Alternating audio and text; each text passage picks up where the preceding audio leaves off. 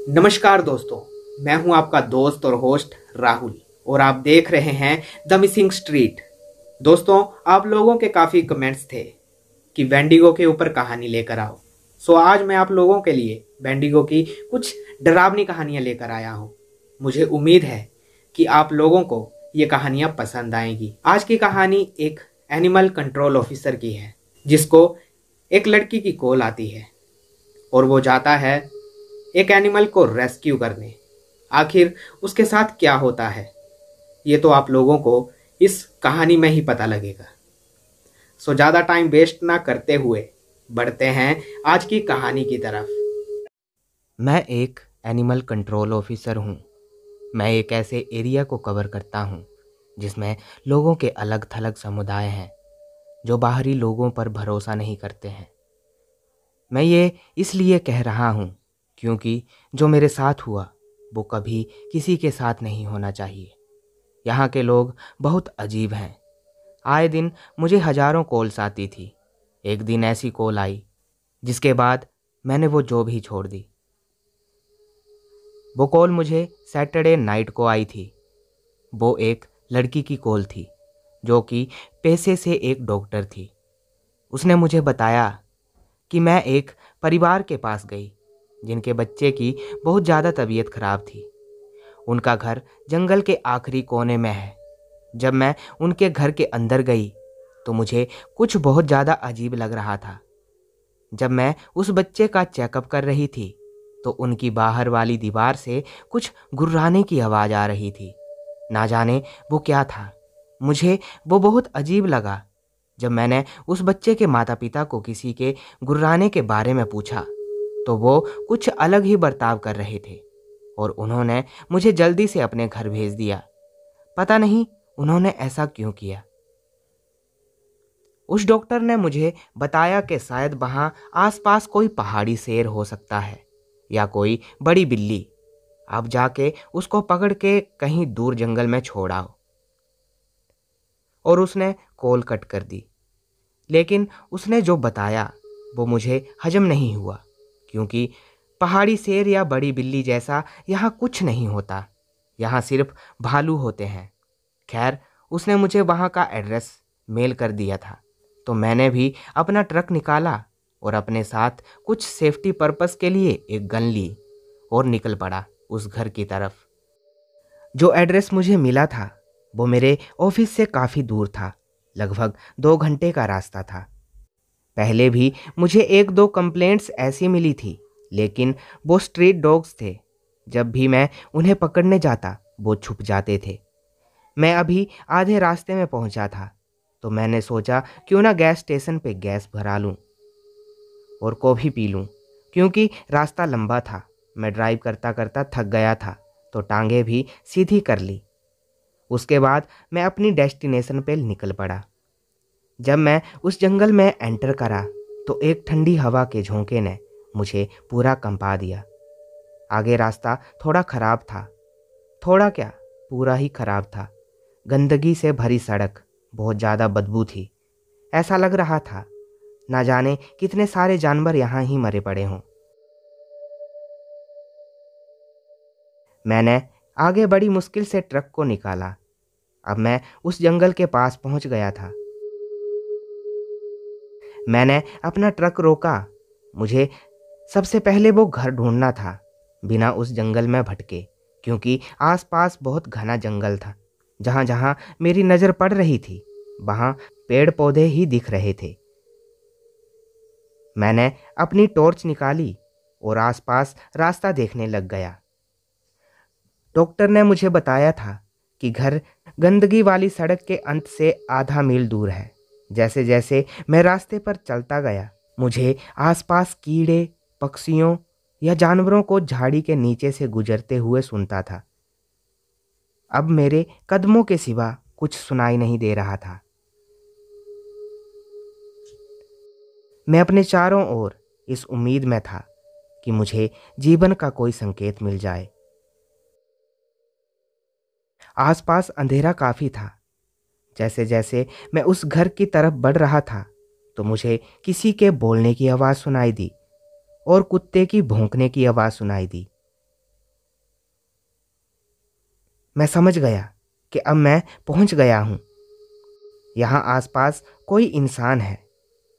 लेकिन जब मैं आगे गया तो देखा वहाँ एक खलिहान है और एक खंडर सा दिखने वाला घर। अब मैं थोड़ा डर गया था। जैसा कि उस डॉक्टर ने बताया था, वैसा वहाँ कुछ भी नहीं था। जब मैंने वो बाड़ा क्रॉस किया तो मैंने देखा वहाँ एक विशाल काय जीव के पंजे के निशान थे और पास में ही एक गाय मरी पड़ी थी। उसको बड़ी बुरी तरह नोच नोच के खाया गया था। उसकी आँखें बाहर को निकली हुई थी। उसकी बॉडी पे नाखूनों के कट लगे हुए थे। ऐसा लग रहा था मानो उसके किसी ने टुकड़े करने चाहे थे। अब मैंने वहाँ जाना ठीक नहीं समझा, क्योंकि वहाँ जाना खतरे से खाली नहीं था। मैंने आवाज़ लगाई, कोई है? कोई है? लेकिन एक चुप्पी के अलावा वहाँ कुछ भी नहीं था। मैं थोड़ा और आगे बढ़ा। मैं थोड़ा आगे गया ही था कि मुझे एक और घर दिखा। अब मेरी सांस में सांस आई थी। मैं जल्दी से वहाँ गया। और आवाज़ लगाई, कोई है? मैंने दो तीन बार आवाज़ लगाई, लेकिन कोई नहीं सुना। अब मैं अपनी खोज बंद करने वाला था, लेकिन फिर मुझे याद आया कि एक गाय वहाँ मरी पड़ी थी। तो इस घर के परिवार के साथ कुछ हुआ तो नहीं, या किसी को मेरी मदद की ज़रूरत तो नहीं? मैं डरता हुआ बाहर के बरामदे में पहुँचा। तो देखा दरवाज़ा टूटा हुआ था और खिड़कियों के कांच भी बिखरे हुए थे। आखिर यहाँ क्या हुआ था? मैंने तीन बार फिर से पुकारा, कोई है यहाँ? मैं एनिमल कंट्रोल ऑफिसर हूँ। क्या कोई है यहाँ? क्या किसी को मेरी मदद की ज़रूरत है? क्या किसी को मेरी मदद की ज़रूरत है? जब मैं पीछे की तरफ़ मुड़ने ही लगा था तो मैंने एक बच्चे की रोने की आवाज़ सुनी। क्या वहाँ कोई है? मैं चिल्लाया। मैं सावधानी से सीढ़ियाँ चढ़ने लगा।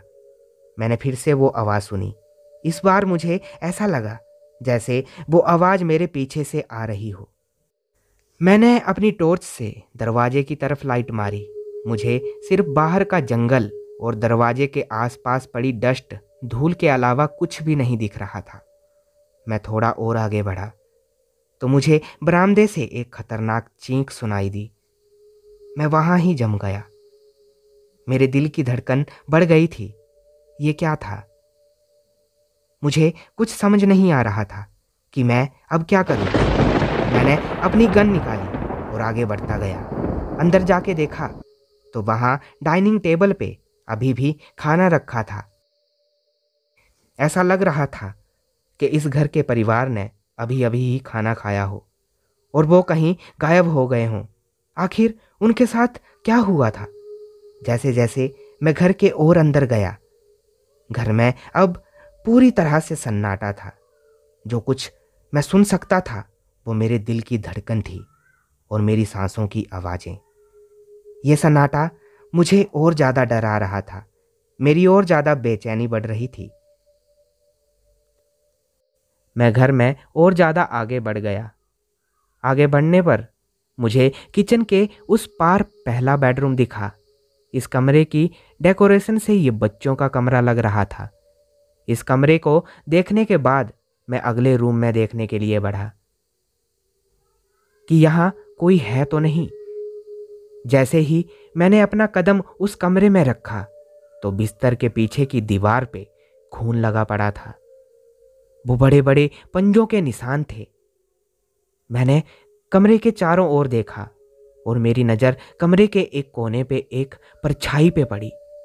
जब मैंने उस तरफ़ अपनी फ्लैशलाइट घुमाई तो मैंने जो देखा, उससे मेरी साँसें थम गई थी, क्योंकि उस कोने में बैठा एक ऐसा जानवर था, जिसे मैंने अपनी ज़िंदगी में पहले कभी नहीं देखा था। वो लगभग सात फीट लंबा था। उसके हाथों के पंजे बिल्कुल नुकीले थे, किसी चाकू की तरह, और उसके पैर किसी हिरन के खुरों की तरह थे। वो बैंडिगो धीमे से गुर्राया, और उसके मुँह पे एक ऐसी स्माइल थी, जिसको मैं आपको लिख के नहीं बता सकता। उसके मुँह पे चारों तरफ़ खून लगा हुआ था। शायद उसने उस घर में रहने वाले सभी लोगों को मार डाला था। क्योंकि खून अभी ताज़ा ही था। उसके गुर्राने से ही मेरे रोंगटे खड़े हो गए थे। जैसे ही मैं पीछे की तरफ़ जाने लगा, वो भयानक सा दिखने वाला जानवर भी खड़ा हो गया। जैसा मैंने सोचा था, वो उससे भी भयानक था। उसने अपना मुँह खोला और हाँफने लगा और चारों तरफ़ एक गंदी सी बदबू फैल गई। सड़ी हुई मांस की बदबू उसके दांत भी काफ़ी लंबे और भयानक थे। मैं एकदम से सुन्न हो गया था। ये देख के मुझे लग रहा था, मैं अब नहीं बच पाऊँगा। मैं एक और कदम पीछे हटा और वो जानवर भी मेरे साथ बढ़ रहा था। जैसे जैसे मैं अपने कदम पीछे ले रहा था, वो भी मेरी तरफ़ बढ़ रहा था। जैसे कि वो मेरे कदमों को फॉलो कर रहा हो। मैंने जैसे ही अपनी बंदूक उसके ऊपर तानी तो वो ज़ोर ज़ोर से गुर्राने लगा। मुझे एहसास था कि ये मेरा इंतज़ार कर रहा है कि कब मैं अपनी बंदूक को नीचे करूँ और वो कब मेरा काम तमाम करे। उसने जैसे ही एक कदम आगे बढ़ाया, मैंने उसके ऊपर फायर कर दिया। लेकिन इसका उसके ऊपर कोई असर नहीं हो रहा था। मैंने फिर से दो फायर उसके सर पर मारे। इस बार वो नीचे गिर गया था। उसने एक भयानक चीख मारी थी। मैंने इसका मौका उठाया और वहाँ से भागने लगा। जैसे जैसे ही मैं दरवाजे की तरफ़ भागा, मैंने ना जाने कितने भगवानों से प्रार्थना कर दी कि मुझे आज बचा लो। किसी तरह मैं दरवाजे तक पहुँचा और मेरे पीछे से मैं उस जानवर को उठने की कोशिश करते हुए सुन सकता था। वो भयानक फुसफुसाहट और रोने की आवाज़ कर रहा था। वो किसी बच्चे की तरह लग रहा था। मैं थोड़ा रुका और सांस ली। मेरे दिल की धड़कन काफ़ी ज़ोर ज़ोर से चल रही थी। एक तो मेरा शरीर काफ़ी मोटा है तो मुझे भागने में भी दिक्कत हो रही थी, लेकिन अपनी जान बचाने के लिए मोटा आदमी भी भाग सकता है। मैं फिर से दौड़ने लग गया और मुझे यह भी डर था कि कहीं वो बैंडिगो मेरे पसीने की गंध से मुझे ढूंढ ना ले। क्योंकि मेरे जैसे मोटे आदमियों को बहुत ज़्यादा पसीना आता है। तो कोई भी जानवर सौ फीट की दूरी से भी हमें सूंघ सकता है। मुझे एक छुपने की जगह मिल गई थी। दस मिनट वहाँ आराम करने के बाद मैंने अपनी गन दाहिने हाथ में पकड़ ली और सावधानी से अपने छिपने की जगह से बाहर निकला। मैंने चारों ओर देखा, रास्ता साफ़ था तो मैं अपने ट्रक की ओर जाने लगा। लेकिन जैसे जैसे मैं अपने ट्रक की ओर बढ़ रहा था तो मुझे एहसास हो रहा था कि मेरे पीछे कुछ है। लेकिन जब भी मैं अपने पीछे मुड़ के देखता तो कोई भी नहीं होता था। पर ऐसा लगता था कि पीछे से पेड़ों की टहनियाँ टूट रही हों। किसी तरह मैं अपने ट्रक तक पहुँचा। मैंने देखा कि ड्राइवर के दरवाजे के नीचे तीन लंबे पंजों के निशान थे। मैंने जल्दी से चाबियाँ निकाली। और गाड़ी में बैठा। मुझे प्यास लग रही थी। मैंने ट्रक में अपने पानी की बोतल से पानी पिया। मेरी नज़र अचानक से सड़क पे पड़ी तो मैंने देखा, वो जानवर मेरी तरफ़ खड़ा, मुझे देख रहा हो। मैंने जल्दी से अपना ट्रक स्टार्ट किया और अपनी ज़िंदगी का अब तक का सबसे तेज मोड़ लिया। जैसे ही मैंने आगे बढ़ना स्टार्ट किया, मैंने उस बैंडिगो को रुकते देखा। यह आखिरी चीज़ जो मैंने अपने रियर व्यू मिरर में देखी थी।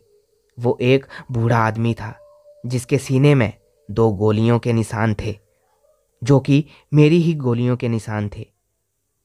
और उसके मुँह पे एक शैतानी हँसी थी। मैं ऐसे तैसे अपने घर पहुँचा।